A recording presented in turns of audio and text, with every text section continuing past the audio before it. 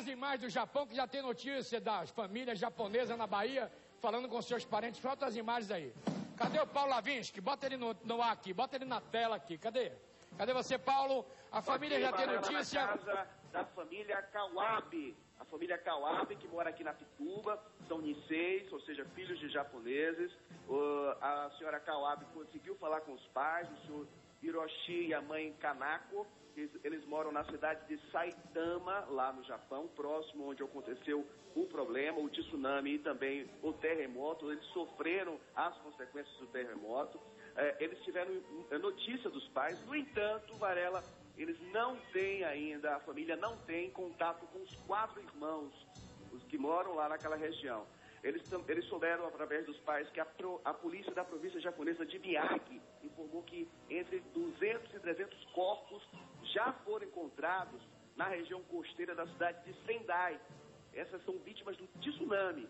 A polícia acredita que são corpos de residentes que, moram, que morreram afogados por causa da onda de 10 metros de altura que atingiu o litoral. A família está abalada, eles estão tentando mais contato, não há contato com os irmãos e por enquanto é isso, Varela, que nós temos. Eles, é, é pelo menos a senhora Kawabe, que é uma economista que mora aqui há seis anos em Salvador, não foi trabalhar hoje por conta desse problema, está aqui com os filhos, tentando mais contato. A embaixada brasileira deixou um telefone para que essas pessoas pudessem entrar em contato. Ela está tentando desde as 5 da manhã esse- essas informações.